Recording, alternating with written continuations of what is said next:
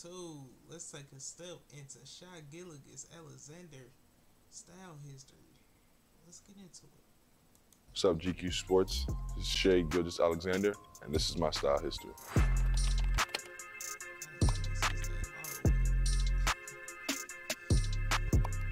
Right here, this is draft night. Walk us through this look. I was getting my draft suit ready maybe three weeks before. I had a, suit idea and I went to the shop to, to try it on and I saw like a fabric on the side and it was that pattern of the draft suit. And I told them to try it just in the trim of my jacket that I already had. And then I said, let's just go all out and all over the pants. And then I tried that on and I fell in love. That's this look. It was obviously a dream come true and it kind of worked out, the, the draft suit and how the night went. I was happy with both and pleased with both. And obviously um, a night I'll never forget. Wow, I was young. No facial hair, no nothing. The jacket, I thrifted it. The shirt is off-white. You guys can see the off on the chest. The jeans are Saint Laurent, I believe. And those are obviously Jordan 1s.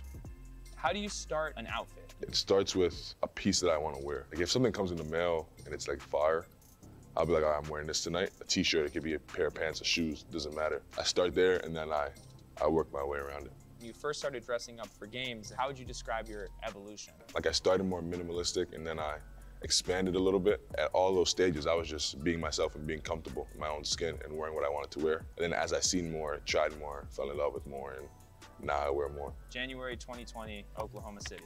Those pants I wore religiously that year. I was in love with those. They're wild and they give you another look and they make people look. Like they're baggy pants, but you can like tighten them and make them as slim as you want. And that's why I love those. And then I threw on the jacket. Obviously the jacket's super loud. It's a Leaks Moncler jacket with the black buckle, Black Cat Force. Those had just dropped, I mean, like a week before that. When you go bold like this with an outfit, do you feel like you can wear it more than once? Those pants, they're loud, but they're all black. So I was able to do them more, but I wore like a, a pink and white pair. And that pair I had to wear a couple times and put away for a little bit. Do you keep these pieces? Do you have like a huge closet at home? No, yeah, I keep all my pieces. Clothes is almost turning into an investment. So like in 10 years from now, those pants are gonna be hard to find and I'll have a pair, you know what I'm saying? Maybe five. That suit is Emran Potato Louis Vuitton suit. Love the suit, obviously, super loud. And then once I knew I was going that loud all over my body, I just wore white sneakers, keep it clean white t-shirt um, and let the suit talk for itself. Most of the time I mix it up. I think with this one, at that day, I was feeling myself. So I was like, I'm, I'm gonna just go loud with this one. Do you ever go shopping? I love shopping. That's a part of it. Not knowing what you're gonna see and then seeing something and then getting excited about wearing it. I love that feeling. Uh, and yeah, I go shop every chance I get. What do you think about Louis V now that Virgil's there?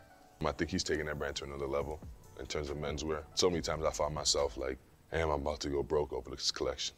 I wouldn't say no like fashion heroes or styles that I looked up to. It was just certain guys like Allen Iverson being comfortable in his own skin and wearing what he wants to wear, even though he's gonna get fined, was very like bold to me. More like his attitude towards it was what I looked up to.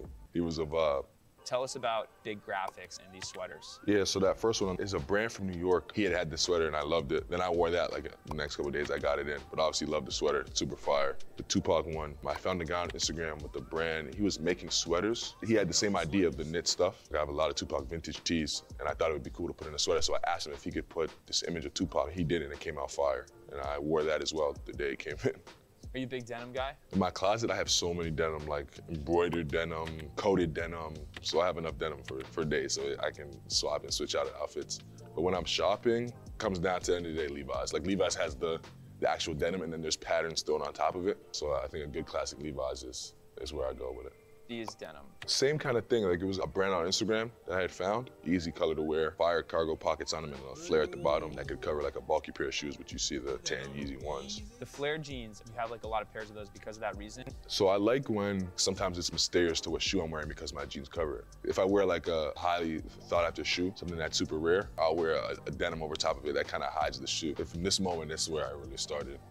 Okay, I'm gonna do this more often. So we'll move on to this look right here. I was in a bubble. If you can't tell, I'm in Crocs. Those uh, are Grateful Dead Crocs that were sent to me in a bubble. Super fire. Needles shorts, a Japanese brand. La Ropa t-shirt, brand from LA. Do you feel like the bubble was a little more low-key than games on the stadium? Yeah, for sure. The super hot weather, less layering, less things you can do with outfits. Whatever I like, I'm gonna wear. That's what it comes down to at the end of the day. So if it's Crocs, if it's Jordan 1s, Converse, if it's cowboy boots, I'm gonna wear what I like. It's not cowboy boots, but I would wear what I like. You try to match your mask to your fashion? I've tried to do that a couple times, but I just have like a white and a black mask just to make it easy. I just make it so like the mask isn't ruining the outfit. So that look, while I was in the bubble, I was just find things online and I would just have them sent to the bubble because we were there longer than expected.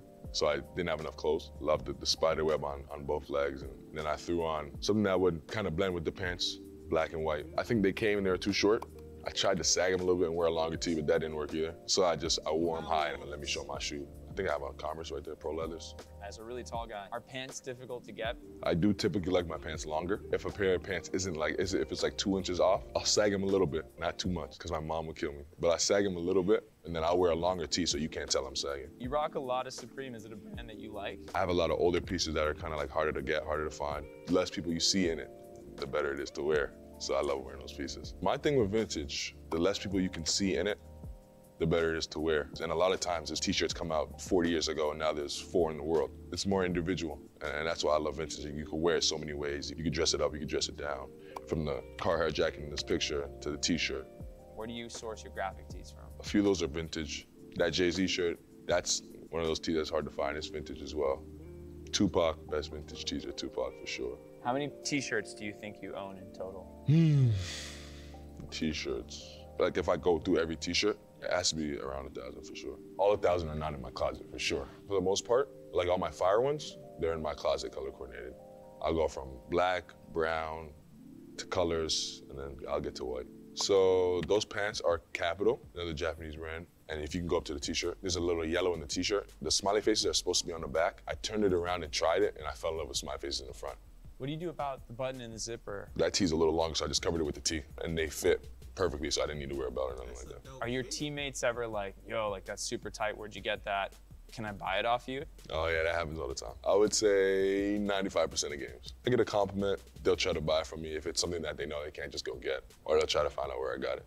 And most of the times I let them know they're my teammates, my homies. Have you ever worn anything and then people, have they kind of ragged on you a little bit or no? I don't know if it's they're nice guys and they don't tell me, or if I'm just 100% so far. I saw that on Instagram as well. Somebody had made like a heart out of the, the Nike swoosh. I thought they were dope. But it's cool like how creative people are and they can like spin things off and kind of make it their own as well. So it was cool and I support it. So the, both of those sweaters are Kapital, Japanese brand, cozy, warm, comfortable, and then they speak for themselves, obviously. And that first one on the left, I tried to wear like something that's similar in color t-shirt, but would pop out a little bit, and you can see that in the colors. I tried many denim, didn't really like the denim with it, and threw on the leathers, and I love the letters with it. Like I said, when the rest of the fit is loud, you just go simple shoes. So I went white forces. And then that one on the right is Kapital sweater. Ironically, I had the vintage tee to match perfectly.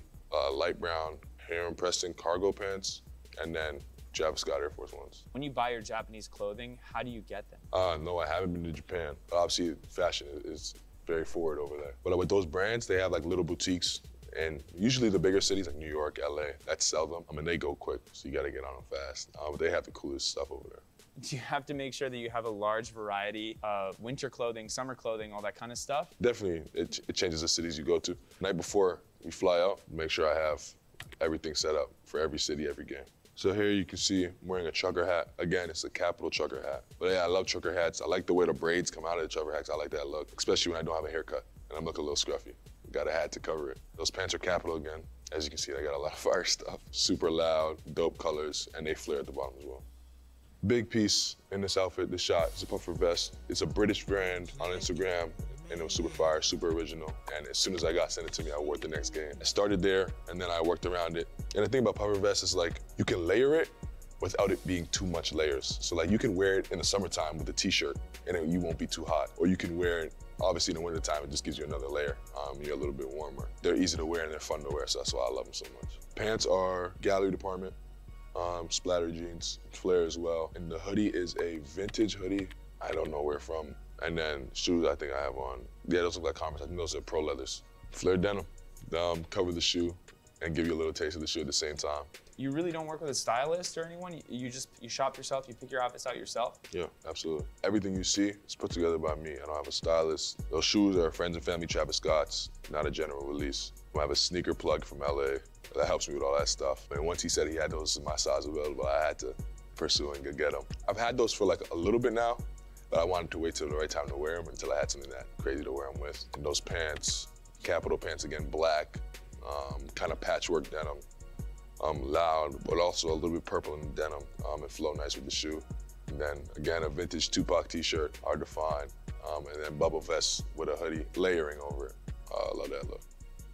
The big like piece here are the off-whites Yeah. that are distressed. Did you distress them yourself? No, I didn't. There's a, a guy on Instagram who did all that. And I asked him if he could do it to my off-white Jordan 1s for me. He asked me a couple times if I was sure because they're obviously a very sick shoe. But I had had a couple pairs, so I was like, yeah, just take a pair and do them crazy for me. And he did an amazing job. Those are one of my favorite shoes in my closet. And I've done it again with a few other shoes. Those pants are a Japanese brand I do not know how to pronounce. Um, they have a little bit of red at the bottom of it. It almost looks like you stepped in blood at the bottom of those pants uh, when I loved them. Then I was in Vegas, so I, I was not layering every, anything over that t-shirt, Gucci Mane tee, uh, vintage tee as well. I can describe my style, being comfortable in my own skin, um, and being confident in it. So whatever I put on, whatever I, whatever it is that day, I make sure I'm comfortable in it and I'm confident. Well, that's it, guys. Appreciate you guys listening and watching me talk about my style history. See you on the court. Well, you guys, if it's anything I just learned is that, you know, I I ain't like how Styles was, old Styles was coming back, but I kind of like it a little bit. It's, it's it's growing on me. But like, comment, and subscribe, man. Get your style right. Get your